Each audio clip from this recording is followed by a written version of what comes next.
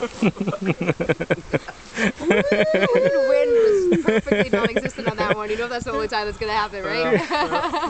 That was awesome. You were totally gonna get that.